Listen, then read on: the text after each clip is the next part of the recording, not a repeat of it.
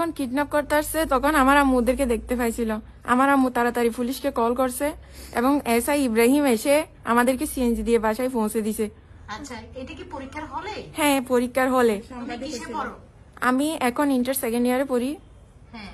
তখন আমি এটা কি এসএসসি পরীক্ষার সময়? হ্যাঁ এসএসসি পরীক্ষার সময়। কোথায় পড়তা তুমি? এখন কোথায় পড়ছো? এখন পড়ছে কক্সবাজার কলেজে সরকারি বাবাই কেন তোমাকে কিডন্যাপ করতে চায়? উনার সম্পত্তি লোভ ওনার চরিত্র খারাপ। অনেক দিন থেকে আমাদের উপর অত্যাচার করা আসতেছে অনেক দিন মানে কোথাও মানে আমাদেরকে শান্তিতে থাকতে দিচ্ছে না এমনকি আমাদের নামে অনেক মামলায় আমাদের নাম জড়িয়ে রাখছে। হ্যাঁ আমাকে ভালো করে পড়াশোনা করতে দিচ্ছে না। আমার পরীক্ষা পরে তখনও ওইসব মামলা ডেট পরে পরীক্ষার সময়ও। আমি ভালো করে হ্যাঁ পরীক্ষায় আমি ভালো করে দিতে পারি না। আমার মাথায় সব সময় টেনশন এগুলোর জন্য। টেনশন থাকে তোমার বাবার নাম কি? আব্দুল মালিক শিকদার। আব্দুল মালিক শেখদার ওর ঠিকানা কি? ঠিকানা এ, ঈদগা এম, ঈদগাহ ফরাজি পাড়া ওদের বাসা আছে কিন্তু বর্তমানে ফেকুয়ার এখানে থাকে।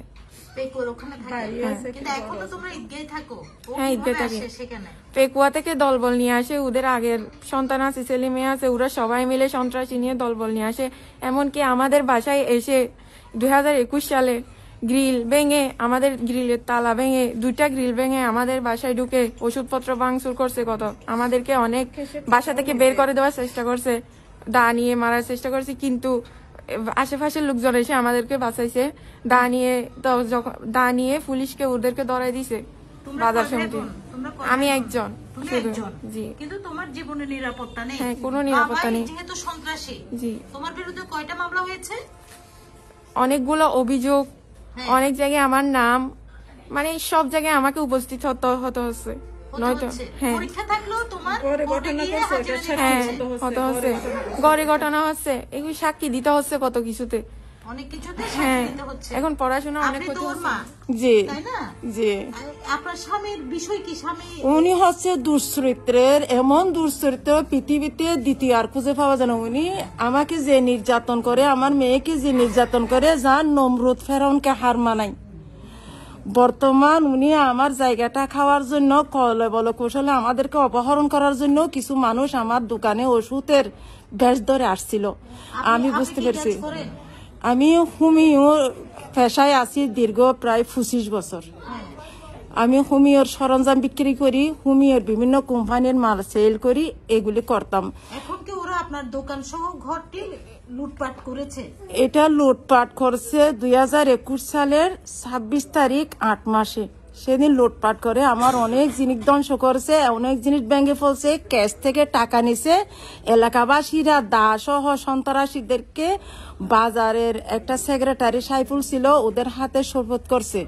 তারপর ওই সন্ত্রাসী থানা খেতেছে এর আগে জি- জি। হ্যাঁ। জি এর আগে একটা মহিলার সাথে ধরা খাইছে আমি যখন প্রতিবাদ করছি হ্যাঁ। আমার স্বয়ন বাসায় যতবার আসে সে একটা একটা করে নোংরা মেয়ে নিয়ে আসে।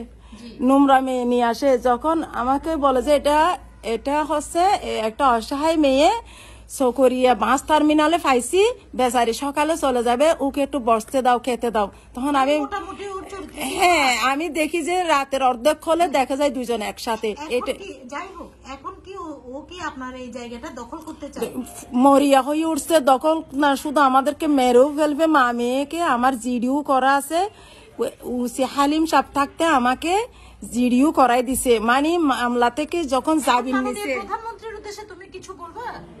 আমি মাননীয় প্রধানমন্ত্রীর উদ্দেশ্যে বলতে চাই যে আমাকে যাতে এইসব এতগুলা কিডন্যাপ হওয়ার আমার কোনো জীবনের নিরাপত্তা নেই। এখন আমার নিরাপত্তা দরকার। আমি যে পড়াশোনা করতেছি কলেজে আমাকে সুষ্ঠুভাবে পড়ালেখা করতে পারতেছি না। আমার আর আমার আম্মুকে শান্তি বা ওরা থাকতে দিচ্ছে না কোনো রকম। এটা দেখি তো তোমার ইয়েটা ওই যে আইডি তোমার ইয়েটা জন্ম সনদটার কি খবর? কি অবস্থা? ওই যে যেটা হ্যাঁ আমার এসএসসি পরীক্ষার সময় যখন ইউনিক আইডি লাগতেছিল তখন আমি বাবার কাছ থেকে বাবার জন্ম নিবন্ধন এবার জন্ম নিবন্ধনটা আমাকে দেয় নাই। আমরা পরিষদে পরিষদে হাজার বার গেছি কিন্তু ওইখানকার লোকেরা আমাদেরকে তাড়িয়ে দেয়। জন্ম নিবন্ধন দেয় না। বলে যে ওই লোকে কয়টা বিয়ে করছে কয়টা সন্তান আছে? তোমরা ওদের সন্তান নও। পরে? আমরা টিউনু সাহেবকে এখানে দরখাস্ত করছি তারপর অনেক কষ্ট করে অনেক টাকা খরচ করে তারপর আমরা জন্ম নিবন্ধনটা কোনোভাবে নিছি।